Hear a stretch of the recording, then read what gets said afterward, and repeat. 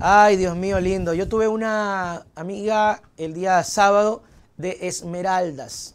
Imagínense qué dolor eh, saber cómo está Esmeraldas, ¿no? Y hoy enterarnos de esta información triste, eh, mis queridos amigos. Asesinaron al hermano del exfutbolista Carlos Tenorio en Esmeraldas. Estaba embalado en plástico, mis queridos amigos. En plástico. Lo que pasa en Esmeraldas es de llorar. Jaime Tenorio, hermano del exfutbolista Carlos Tenorio, fue hallado sin vida la noche del pasado lunes, o sea, ayer. Al parecer habría sido asesinado y dejado en un sector del norte de Esmeraldas. Según información preliminar, el cadáver fue encontrado alrededor de las 10 de la noche en la calle 24 de Mayo, cerca de la Catedral Cristo Rey. Vecinos escucharon que cayó un bulto y salieron a observar que era y se llevaron tremenda impresión. Un auto habría llegado a alta velocidad, frenó y luego botó el bulto en la calle, por lo que se presume que el crimen se habría perpetrado hace pocas horas. Moradores reportaron al ECU 911 y personal de la policía acudió al sitio para recabar indicios. El cuerpo estaba envuelto en plástico y tenía señales de tortura. Todo parece indicar que se trata de un asesinato, la policía investiga las motivaciones del crimen.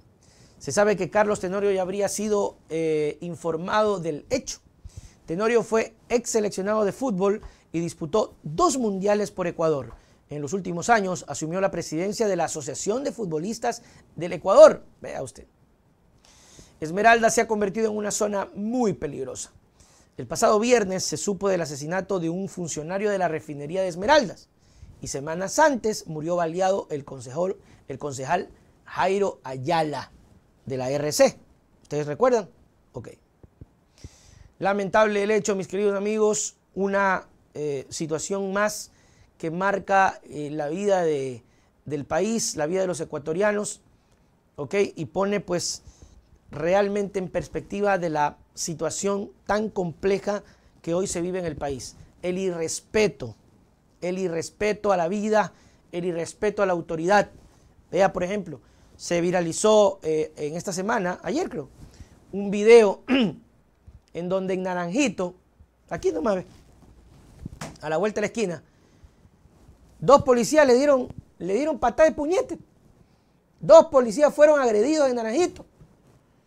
Hacían un operativo y los señores que estaban haciendo relajo en la vía pública le cayeron a patado y a puñete. No voy a poner el video, obviamente. No voy a poner el video. El hecho, tras el hecho, la policía informó que detuvo a cuatro implicados en esta violenta gresca. Además, se le dictó prisión preventiva a los hombres y se abrió una investigación por el delito de asesinado, de asesinato en el grado de tentativa. Los dos policías agredidos habrían acudido ante el llamado de un presunto escándalo en la vía pública en Naranjito. O sea, ya no hay respeto. Estamos perdiendo todo el respeto, mis queridos amigos. Y esta es la consecuencia de las situaciones que están ocurriendo, por ejemplo, en Esmeraldas, con tantas muertes. Y obviamente el tema es, ¿qué podemos hacer? ¿Qué se puede hacer? ¿A dónde podemos acudir? Es terrible, triste saber, mis queridos amigos, que ya no podemos acudir al gobierno.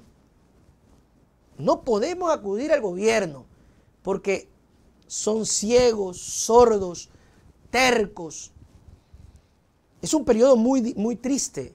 Por eso yo, cada vez que tenga la oportunidad, voy a impulsar el tema de que se termine el 20 de agosto. Por favor, voy a pedir a toda la gente, a todo el pueblo, a todo el país, yo me voy a quedar el 20 de agosto hasta las 12 de la noche, como lo hicimos ese día. que fue un trabajo tremendo. Hasta las 12 de la noche. Que supimos quiénes eran las autoridades y quiénes ganaron las elecciones. Y yo sí quisiera que esto se termine. Por ejemplo, en Esmeraldas, ¿por qué no interviene la policía? ¿Por qué no interviene el ejército? ¿Por qué no interviene el gobierno? ¿Por qué no hay una declaratoria de emergencia, pero ya? ¿Qué están esperando? ¿Por qué no hablan? yo sé que es mucho pedir porque ya Lazo no tiene fuerzas. No tiene fuerzas y tampoco tiene ganas. El presidente de la República. Entonces estamos realmente desamparados. Es un poco antagónico, lo decía al inicio del noticiero, que le voy a dar ese reconocimiento al presidente que aun cuando eso no lo limpie, al menos tenemos esta salida, que es el 20 de agosto. Más de un mes, ¿verdad? Estamos en campaña. En campaña todo el mundo va a ofrecer y de eso se trata. Y en campaña todo el mundo va a salir y de eso se trata.